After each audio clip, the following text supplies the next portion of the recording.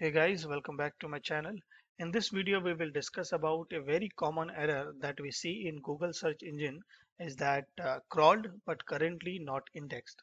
So what does it mean? It means is that uh, whatever pages is coming under that category, Google is not going to index them. So they have visited your page and they did not find the page worth enough to be indexed or it may happen that uh, previously those particular pages were indexed but uh, down the line Google has decided to de-index those pages and uh, put those pages in that category. So few months back I have also started uh, seeing lot of pages which were under that category. Now let me go to my search console and you'll have to go to coverage and uh, here you will be able to see that figures so currently you can see around uh, 6360 pages are in excluded state. And if you'll go a little bit down all those excluded pages are under the category crawled currently not indexed. So I have performed few steps and it started decreasing and uh, if you will see these graphs one of the graphs you will be seeing that uh, it is uh, the excluded number of pages were around 7000 and after I performed uh, those steps it started decreasing and it's not only decreasing every week I am seeing the number is decreasing so whatever steps I have done to resolve this I will share this in this video so basically I have performed three to four steps and then I started seeing this result. So all the steps in order I will tell you maybe one of those steps will help you to reduce these number. Now let's start. So first thing what I did is that I actually changed my hosting. Now my hosting was good but uh, as you can see I have a lot of pages in valid state so traffic started coming and uh, I was getting a lot of emails from my hosting providers that uh, upgrade your uh, hosting because your website is out of resources. So I changed the hosting to a better hosting provider. Now what hosting I change, it doesn't matter actually, but still I will give the link in the description. You can uh, check that hosting provider and if you feel that it is uh, better for you then you can uh, switch to that uh, hosting and if you are a new webmaster and if you are creating a new website also then also I recommend that particular web hosting the hosting is very good. I have been using that for more than uh, three years. I haven't got any complaint about that. That's why I am recommending to you as well. Check the description for the link. Now second thing what I did is that in this page only coverage if you will go a little bit down you will be able to see many status here. You will have to solve these errors. So as you can see I have three pages under this error and all of them were showing 500 error. Now 500 error is basically tells you that there is something wrong in your programming or there is something wrong in the server side. So that you'll have to figure it out and you'll have to solve. In my case it was a bug in the code. So I have developed this website in uh, Django Python if you are aware of it. So I modified few lines of coding and uh, most of the issue was resolved. And as you can see the validation is started. So it doesn't mean that uh, you immediately solve the issue and uh, immediately this validation will start and it will you will see the result here. So for this particular section it may take months also.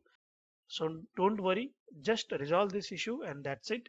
These error will go away maybe after one week or maybe after one month also the main thing is that just resolve this error.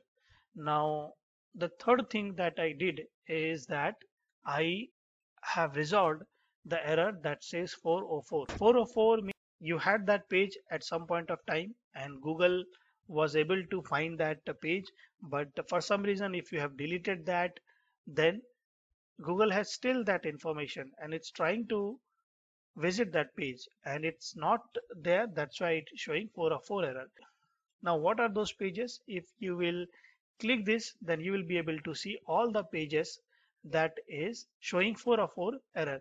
Now basically the good way to resolve this issue is that create those uh, page again or uh, implement a redirection method with 301 status code.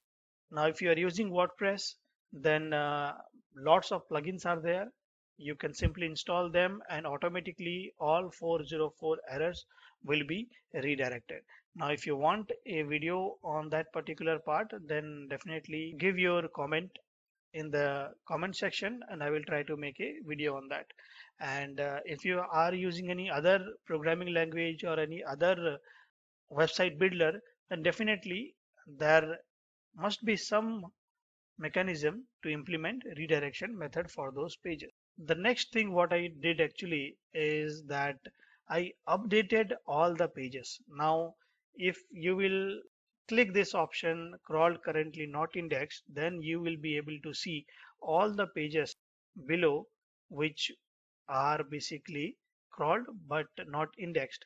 So what I did is that I started uh, updating those pages there are a lot of pages here as you can see so what I did is that I wrote a script. So that script basically gave me whichever pages was not updated for two months. And uh, again I wrote one more script to update those. So I have uh, developed this uh, website in programming language. So that's why I had to write a script.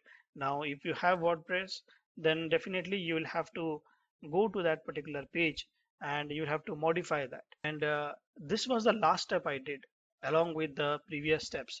And uh, the moment I started uh, modifying after one week I started seeing the decrease in these counts so basically whatever were not indexed they were now indexed only and the number started decreasing.